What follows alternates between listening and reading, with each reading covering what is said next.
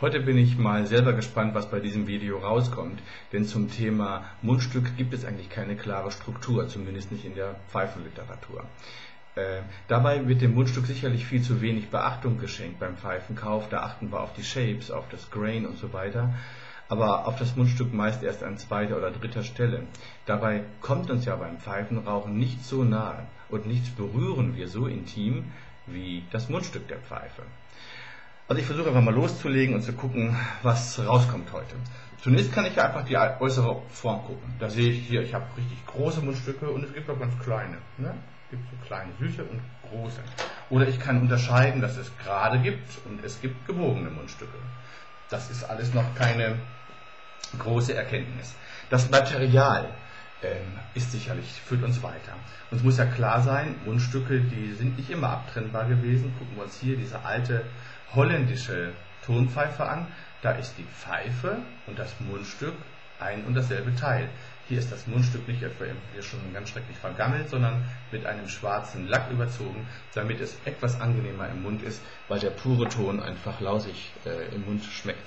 Oder bei den äh, Holzpfeifen früher, die waren tatsächlich auch aus einem einzigen Stück und am Ende eben dann hatten wir das Mundstückmaterial auch als Holz und bei dieser Pfeife ist der Fortschritt besteht im Grunde darin, dass man das Mundstück abnehmen kann, aber es ist noch komplett aus Holz und ähm, ja, das ist als Material im Mund auch nicht so wahnsinnig angenehm. Äh, man muss das so ein bisschen ölen, damit man es überhaupt vernünftig äh, rauchen kann. Bei dieser alten Gesteckpfeife hier wird ein Material verwendet, das früher im Pfeifenbau durchaus größere Bedeutung hatte, nämlich Horn, konkret ein Rinderhorn, Horn hat aber den Nachteil, dass es nicht wirklich hygienisch ist und dass es auch altert und dann so sehr spröde wird und schnell splittern kann. Gute Meerschaumpfeifen haben bis heute echte ähm, Bernstein-Mundstücke. Also dieses Mundstück hier ist aus echtem Bernstein. Ist natürlich nicht ein einziger Stein, aus dem das gemacht werden konnte. Sowas gibt es wahrscheinlich gar nicht aber das ist äh, Bernstein, der pulverisiert wird und dann mit einem Bindemittel äh, aufbereitet wird und dann kann man ihn verarbeiten. Zu den modernen Materialien, Materialien gehört natürlich äh, Ebonit oder Naturkautschuk. Das ist eine, ein Material, das bis heute im Pfeifenbau einfach sehr gerne verwendet wird, weil es sich gut bearbeiten lässt, weil es weich ist im Mund und angenehm zu halten im Mund. Es hat den Nachteil, dass es altert und dass es möglicherweise einen nicht so guten Geschmack annehmen kann. Aber man kann das dann reinigen und dann ist das eigentlich kein großes Drama mehr. Es hat, das Material hat, wie gesagt, viele Vorteile und diesen einen Nachteil. Verwandt mit dem Ebonit ist hier Cumberland. Ich glaube, es ist von Dunhill mal eingeführt worden. Das hier ist jetzt eine reiner Pfeife und keine Dunhill. Äh, Cumberland, äh, da sieht man den äußeren Alterungsprozess des Mundstücks nicht so stark. Ähm, diese Grünverfärbung. Aber diese geschmackliche Geschichte muss man auch beim Cumberland beachten. Man muss es, das Mundstück sicherlich besser pflegen. Pflegeleicht und deshalb sehr beliebt sind Acryl-Mundstücke, so wie dieses hier. Man kann vom Äußeren die Acryl-Mundstücke und die äh, Ebonit, hier ist jetzt Ebonit, da kommt Acryl, oft gar nicht so gut unterscheiden ähm, muss man möglicherweise sogar nachfragen. Im Mund ist äh, das Acrylmundstück in der Regel etwas härter und manche empfinden das als unangenehm. Ja, wenn wir uns nochmal die äußere Gestaltung äh, angucken, da gibt es sogar tatsächlich ein paar Bezeichnungen in der Pfeifenliteratur. Wir haben zunächst mal glatte Mundstücke, die einfach die Form des Holmes aufnehmen, sich nach hinten weiter verjüngen und dann in den Biss, auf den kommen wir gleich noch, ähm, auslaufen. Oder Pfeifen, die so einen Sattel haben. Da sehen wir, äh, das Mundstück greift zunächst mal die Form der Pfeife auf, aber dann haben wir so einen Sattel, da verjüngt sich das Mundstück und geht dann eben so bis zum Biss. So einen Sattel gibt es auch äh, mal einseitig, wie bei dieser Pfeife, da haben wir den Sattel eben nur auf dem oberen Teil der Pfeife. Es gibt andere Mundstücke, da liegt da unten. Sheraton in England haben noch eine kleine Besonderheit. Die haben einen Stu ein Stufenmundstück. Zunächst sehen wir also den ganz normalen Sattel hier. Ne? Das Mundstück verjüngt sich. Aber dann haben wir nochmal so eine kleine Stufe. äh, die dann zum Biss führt.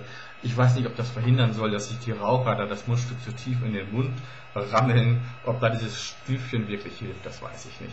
Und dann hier ein letztes, was ich zeigen will. Es gibt einfach alle möglichen freien Formen.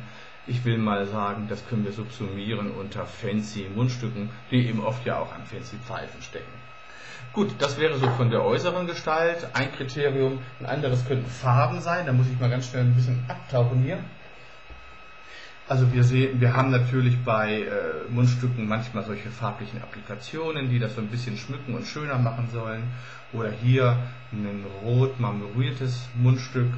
Ähm, beliebt auch äh, hier mittlerweile die gelbe Farbe, hier in der Form fast wie so ein Tigerfell, also gelb marmoriert. Habe ich auch noch in weiteren Varianten. Hier also ein kräftiges Gelb. Bei dieser Pfeife passt gut zum Sommer, finde ich oder ein ganz leichtes Gelb, fast durchscheinend, ein bisschen wirkt es auch wie Bernstein oder wie Honig und man sieht eben auch durch dieses transparente Mundstück dann sogar den Rauchkanal.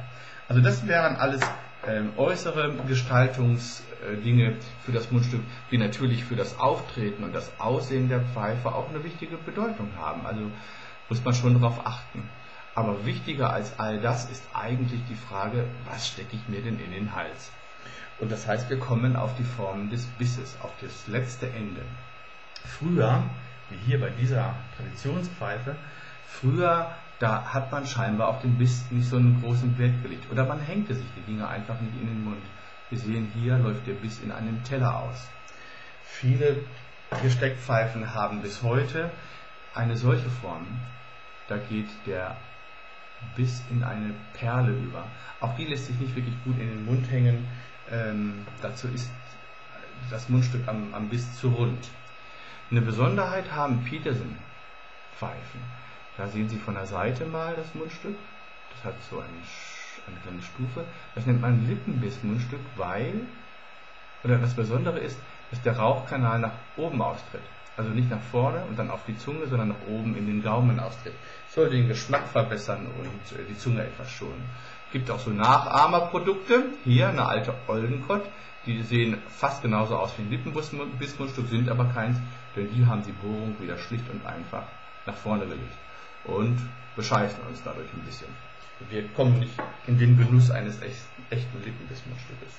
Die nächsten beiden Bisse sind relativ ähnlich auf den ersten Blick. Zunächst mal hier, da sehen wir ein Normalbissmundstück, also der ähm, das Mundstück läuft, nimmt die Form des Holmes auf und zieht sich dann nach vorne weiter in ein schönes, elegantes Mundstück, auch vom Biss nicht zu breit. Oder das kann eben doch noch richtig breit ausgeführt werden, dieses Mundstück.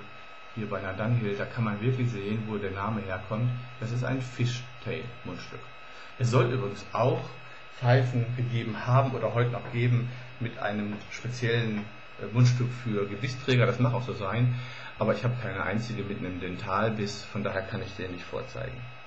Das war das eine wichtige Ende der Pfeife, aber das andere Ende der Pfeife ist auch wichtig, nämlich das Ende, das wir in die Pfeife selber hineinstecken.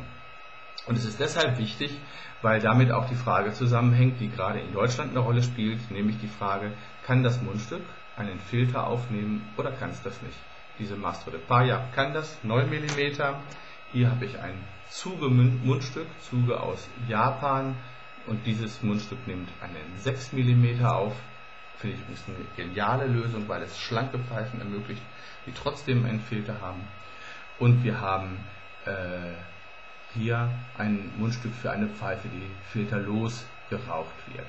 Wir sehen übrigens hier, ne, dieser lange Zapfen, das ist das Teil, was dann in die Pfeife eingeführt wird erzähle ich auch nichts Neues, aber ich erzähle es, weil es bei diesem Mundstück, das auch für eine filterlose Pfeife ist, bei diesem Mundstück fehlt. Da ist kein so langer Zapfen, das ist ein Steckermundstück, der einfach so in eine Pfeife eingedreht wird. In diesem Fall ist es eine Peterson, ähm, also eingesteckt wird und nicht eingedreht wird wie bei den anderen Pfeifen. Ja, das ist das, was mir zu Mundstücken so eingefallen ist. Ich hoffe, das eine oder andere war interessant. Auf jeden Fall wichtig ist der Hinweis, Achten Sie auf die Mundstücke. Wenn es irgend möglich ist, probieren Sie die beim Pfeifenkauf aus. Das Mundstück kommt Ihnen nahe wie sonst nichts an Ihrem Hobby. Bis dann.